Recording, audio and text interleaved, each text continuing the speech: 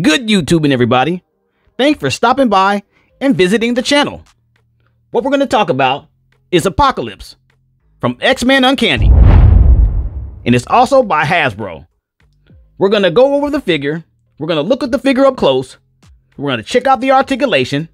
We're also going to give a measurement. Then we're also going to put some figures up to it to scale it up with other figures to see what it looks like scaled up to big figures and small figures. Then at the end of the video, we're going to show you some pictures we took, and that way you can see what it looks like in some poses with all of his accessories. So right now, we're gonna roll him off the stand, and let's go ahead and give him that measure. Okay, we're breaking out that stick. Okay, it looks like on the inches side, he'll be right at 8 inches. And we'll go ahead and flip it over to the centimeter. If he's at 8 inches, he'll be right at 20 centimeters. That's where he's at. That's where he's standing. And that's what we're working with today. Okay, here we are, scaling them up. Got Apocalypse right there. You got a little bitty Rogue beside him. Go ahead and throw some Magneto. And of course, I got to throw him in there because he scales so well. And this big guy is one of my favorite figures. And here he is. Big Juggernaut. He's so big that he hits the ground. Boom. And he knocks over the other figures. that's how big he is. I'm sorry. I'm, I'm sorry, guys. He'll stand you back up. well, that's how he looks scaled up with, you know, the Juggernaut, which is a, a, great figure, scales real good with other figures. And you got the other Hasbro figures here scaled up with them. That's what I got for you for, for right now. Okay. Okay, so let's go ahead and jump into the accessories.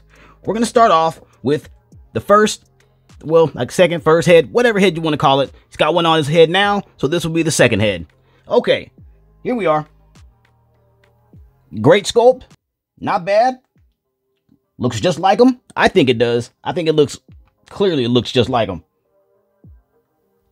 Okay, not bad on that. Okay, nice accessories. We'll get to looking at a little more during the, uh, during the articulation. There you have it. Nice. Okay, and he has two additional hands. As you can see what he has right now, standing up, he has two balled fists. All right, and here's his second, well, third hand. Okay, Nice detail. Very hard plastic. I like that. Very, very sturdy plastic on this guy. Just like if you don't know about the Juggernaut, the Juggernaut, big Juggernaut figure I had out there posing up with him, that's that's one strong character too. And here's the other hand. Number four. All right, there it is. I got it pretty good. That's nice. Not bad. Can't complain on that. Right on. Okay, now we're gonna go for his gun, his blaster. I'm not sure what they call it. If anybody knows in the comment section, please let me know so I can correct myself during this. But I'm gonna take off the fire part. Well, yeah, let me do that so I can show you where they go. Okay, so here's here's his his huge gun that sticks on his arm or creates on his arm. You know how he does it. It's, it's Apocalypse. Here it goes. All right, nice. Just a big bulky plastic with some round purple and some holes in it. Got a bit of it's got a it's got some sloppy yellow paint on there. You see it? Yep, very sloppy. That is not a uh, that's not that great. but that's the figure for you. Okay, and those holes have additional spots for flame or fire effects. But you only have three of them, but there's four holes. So you choose what your fire effects want to be. I'm going to show you that right now. I'm sticking the small ones in the small holes. That's two of them we have. And then I'm going to stick the big one in one of the big holes because we only got one big one. So let's go with the one at the bottom. All right. And this is how it looks. Nice. Got the big fire effect. And you have the two small ones here. The fire effects. So it makes more sense to put the big one in the middle at the bottom so they won't be in the way of the two on the top. See there? Looks good to me. All right. So let's go ahead and check out the figure up close. Now you know we can't check the figure up up, close because why why would I do that when I still have accessories left over? I'm getting ahead of myself, rushing myself, and I need to slow down. So here are the other parts of him, which it's, it's what he's known for too. One, here we go. There they are. When you see Apocalypse, you see these. They do things. and he has two of these. That's one of them. And the second one looks exactly the same. So it's not any different. Like, how do you hook them on? The way you hook them on? I don't know because he has multiple holes in his body. So I guess it's your choice on how you put these in his body because he has holes everywhere for them. Okay, so let's go ahead and check out the figure up close. Like I said, tough, bulky.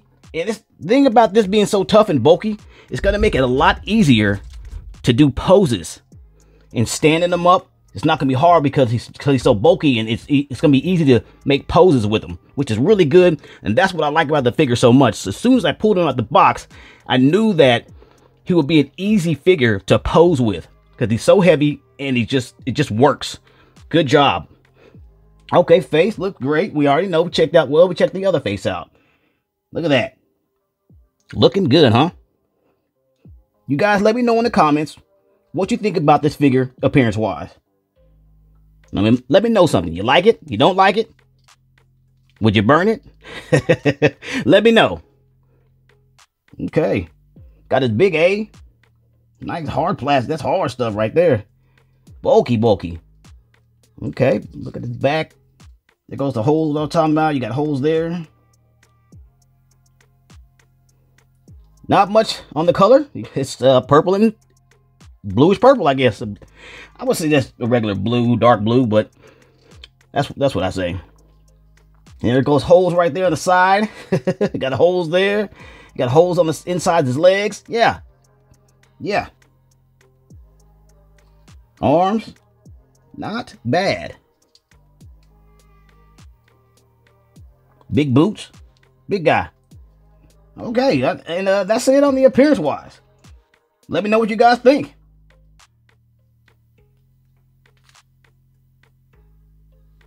All right, so let's go ahead and step into that articulation. We're going to go with the head first. The head, of course, it should be good because of the fact that you know it has separate heads. So being that, being able to put another head on should make the head movement very good. So let's do that. Side to sides inside of this guard here where a helmet would go. You get your most, you get your limited stuff right there, but it's still great. But if you come up a little bit, then you can bring it out. You see, bring bring his head out out the out the uh, suit there, and he can go all the way around because it's on a ball point, as you can see, and it's a latch ball point. See there, so that makes it makes it fairly good to to do his head like that, especially with his head being knocked in the suit like that. That's really that's really good. I like that a lot. I'm uh, 100% on that. So the head movement, no, there's no limitations. Unless you're swiveling around the, inside the, the suit there. Okay, we go for the back. Nothing there but some hard plastic. Let's go to the arm. So the arm has a huge latch. There you go. And that's as far as that, that latch goes. I don't know if it's the armor in the way. Seems like it could be. But that's as far as you're going to get that latch up. That's it on the latch. Your bicep swivel is there. Oh yeah. And then you have your latch in your arm. Simple. One simple latch. Doesn't go in more than that. Just at an almost a, little under an, a 90 degree.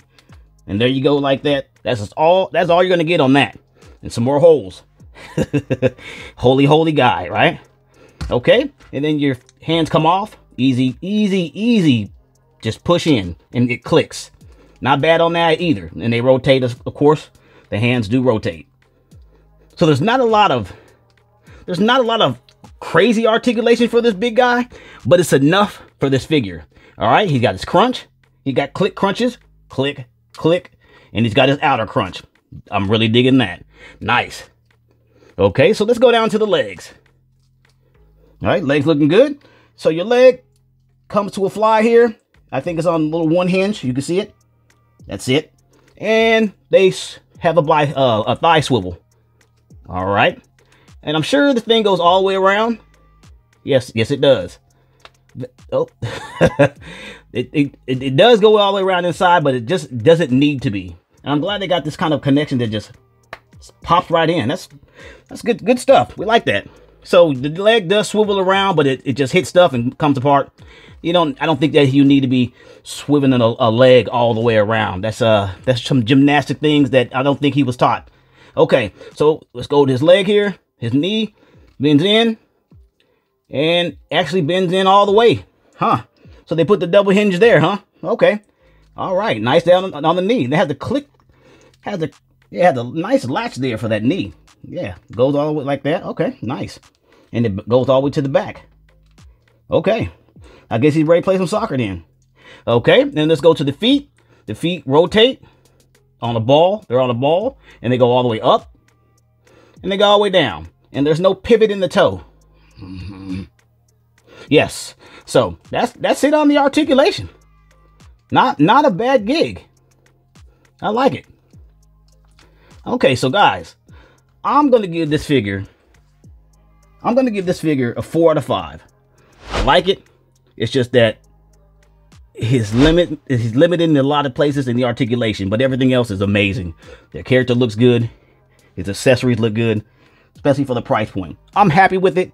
Let me know what you think. I'm giving it a four out of five. Let me know yours. Okay, so here's the box. Like I said before in my videos, the box he's packed away very nicely. But what I don't like about these boxes, they once you once you cut them open, they're finished. That's why I call these boxes a one and done box. Because once you open them up, they're finished. I don't care how you do it, how you open it. Once you do it, you try to put the figure back in. It looks messy, looks terrible. I think they need to take an accountability of other toy companies out there that put their figures in nice boxes that you can open and close. Because i think that's that's worth it when you're buying these figures to keep them protected. But so anyway let's go over this box and check it out. So he's packed in nicely. We do know that. You got some artwork on the top here. It says x-men and it says Uncanny let's go ahead and tilt it up so you can see it.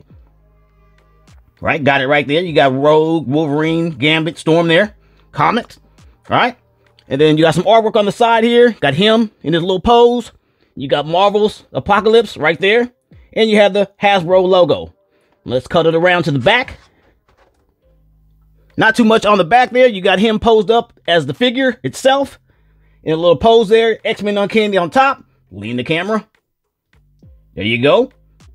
And then you have a lot of sayings right here that I'm going to put to the camera kind of close so you can pause it. Because I know for a fact you guys like to read this. And when you get done reading everything on here, let me know. Put something in the comments about it. But guys, that is the one and done box. And of course, I got it from Big Bad Toy Store. I was thinking there, there wasn't that many of these guys, so I, I, I wanted them shipped good. So if you're looking for this guy at Big Bad Toy Store, don't worry. Don't have to search. Just go look at the description, and the link is down below. Check them out, guys. BigBadToyStore.com. And this brings us to the end of our video. If you found the video informational or you just simply enjoyed watching, please hit the like, comment, share, and subscribe button. And as always, this has been Another Toy Review. Thanks for watching. See you in the next one.